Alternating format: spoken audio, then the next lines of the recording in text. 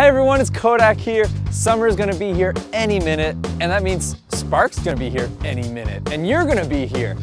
I've got two friends that I want you to meet today, and they're gonna tell you about what's happening during the weeks.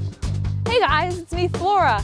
I'm the Blaze manager this year, and I can't wait to see you all at camp. We're gonna be going on tons of cool trips, like the Ripley's Aquarium, we're gonna go to the Toronto Zoo and see some cool animals, and we're gonna go to Downey's Farm. Yeehaw! Hey guys, Cairo here. I'm the manager for Blast and Adventure Camp this summer, and I'm so excited for what's coming.